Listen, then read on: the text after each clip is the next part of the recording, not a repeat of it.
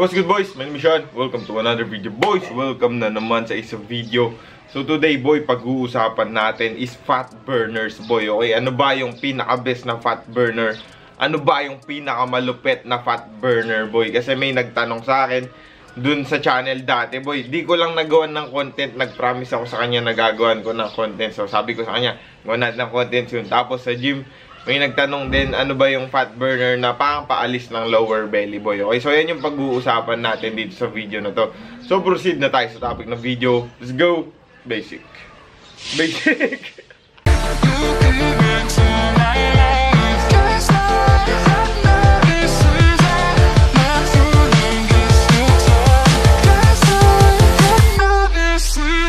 Okay boys, so maraming fat burners na binebenta sa market dyan. Okay, so CLA, L-carnitine, di ba? Yung mga hydroxycat, liposide IR, tapos ano ba ba yan? Madami yan, madami. May mga yohimbine pa, may mga ano, oxyshred, di ba? Sobrang dami. Tapos may iba naman, boy, hindi naman fat burners yung sinasabi nila. Hindi yung fat burners na nabibili sa market. Yung sinasabi nila, yung mga organic or detox, di ba? Sasabihin nila, inom ka ng green tea, okay? Inom ka ng slimming coffee, inom ka ng lemon water, inom ka ng apple cider vinegar. Okay, tapos ano ba? Ano ba? Sobrang dami, di ba boy? Di mo alam kung anong paniniwalaan mo.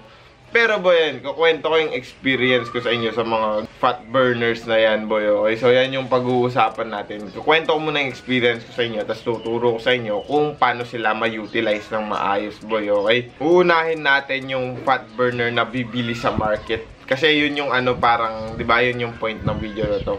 So, may ginamit ako nun yung ano, Hydroxycat na Hardcore Elite Boy. Okay, so yung Hydroxycat na yun, 1.8 yata yun, yung isang silver na bote. Tapos, yung kulay red yung laman, boy. Yung Hydroxycat na yun, boy, is sobrang lakas.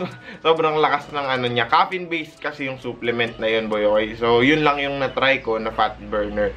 And sobrang lakas ng tama niya boy, parang sobrang init ng pakiramdam mo, sobrang basta yung palpitations pag hindi ka gumagalaw, sobrang lakas boy. Tapos pag medyo late mo ininom, hindi ka makakatulog again dahil ano, caffeine based yun boy. Okay, so mahihirapan ka talagang matulog. Parang sobrang i-stimulate niya yung nervous system mo. Parang nagkape ka sa gabi. Parang ganun.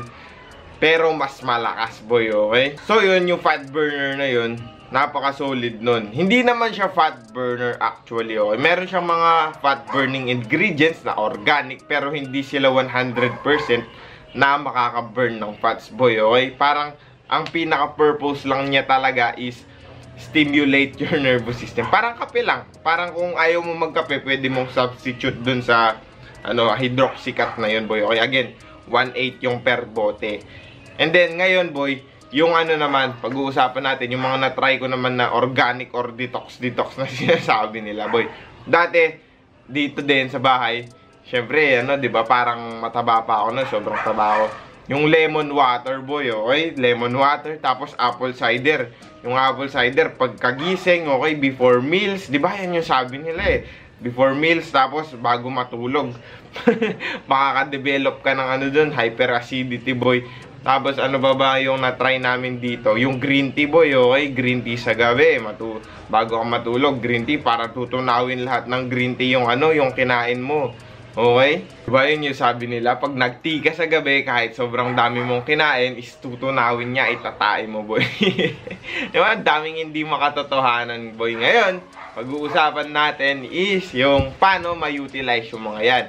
So, in order to make the fat burners or yung mga fat burners na yan na effective, okay boy, kailangan natin is malaman muna yung calorie intake natin. Tama ba siya boy? Okay, ano ba talaga yung goal natin? Siyempre, kung gusto mong mag-lose or kung gusto mong mag-burn ng fats, is kailangan mong mag-calorie deficit boy, okay?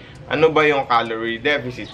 Eating less and burning more, okay boy? So, eat less. Again, eat less. You need to be aware of what you are eating, okay? Eat less and burn more through exercise or moving, okay? Hindi naman necessary na exercise dapat na gym, okay? Kung ano yung gusto mong exercise, basta you are expending energy, boy. Kasi ang meaning ng calories is energy. Kung di nyo pa alam, And dapat nag expend ka ng energy, gumagamit ka ng energy to burn more, okay? Tapos isabay mo sa pagkain or pagbawas ng pagkain mo. Syempre boy, doon mamamaximize mo yung calorie deficit mo and yung fat loss phase mo boy.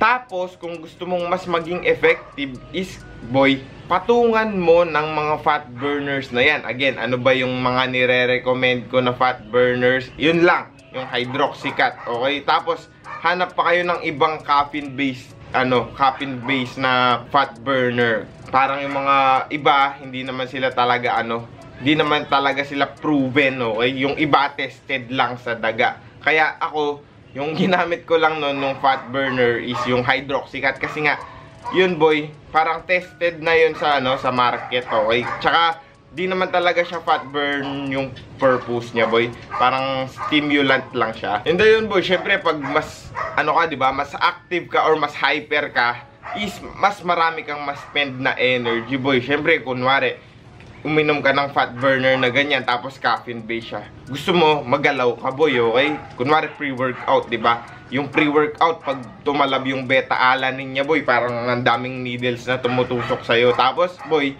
syempre pag hindi ka gumalaw, masakit, parang makate, 'di ba? Pag umiinom ka ng pre-workout. Kaya kailangan mong gumalaw. So, pag gumalaw ka, you can spend more energy, boy. Okay? Tapos naman, dun sa mga ano naman, dun sa mga detox-detox na yan, boy, huwag kayo masyadong maniniwala, boy, okay? Hindi naman ako against sa mga detox na yan, pero calorie deficit number one pa din. Kasi, lemon water can help, tapos yung mga iba pa, green tea can help, coffee can help, tapos, ano ba ba, may uso ngayon eh. Yung pinapromote ni Ivana Alawi, prop ko na. prop ko na lang dyan sa screen, okay? So, ayun, uso yan, usong-uso yung product na yan ngayon. Medyo pricey siya, okay? Pero, siguro, effective siya in a way. Kasi, ang ano ata doon, ang pinapagawa nila dyan sa product na yan is parang babawasan mo yung kain mo. Tapos, yan, lagi kang iinom ng ganyan. Iba-ibang flavor, okay? Hindi ko sinisiraan, pero again, you need to be aware of what you are eating. Hindi mo naman kailangan magpahirap ng sarili mo dyan sa mga ginagawa mo or sa fat loss phase mo. You can still enjoy your food. You can still eat rice, okay? You can still eat bread you can still eat sweets, okay? So, basta aware ka lang sa calories mo, boy, okay? Ang effective na fat burner is calorie deficit, okay? Kailangan mong magsipag, kailangan mong mag-aral kung gusto mo talaga na ma-maximize mo, okay? Hindi yung pangtamad na aasa ka sa supplements, boy, okay? Again, supplementary lang naman yan, hindi yan kailangan na 100%, yan yung gagamitin mo pag ginamit mo yan, magic, boy, okay? Kung may ganon, kung may ganon, wala nang tao na, ano, boy, wala nang taong matababoy, gagamit lang sila ng fat burner na ganyan, is papayat na sila, di ba? Walang ganun, walang magic, walang instant, boy. Okay, pansit canton lang yung instant, yung paborito natin pansit canton, boy. Okay? Again, calorie deficit. You need to be aware of what you are eating, okay? So, hanggang dito na lang yung video. Again, again, again, again. Supplements can help, but calories number 1. Okay, calories inverse, calories out. Maraming maraming salamat sa panonood. Like, oh, meron bida dito. Subscribe, sabi mo, subscribe. Subscribe, like and subscribe. Let's go. Big boy na ako. You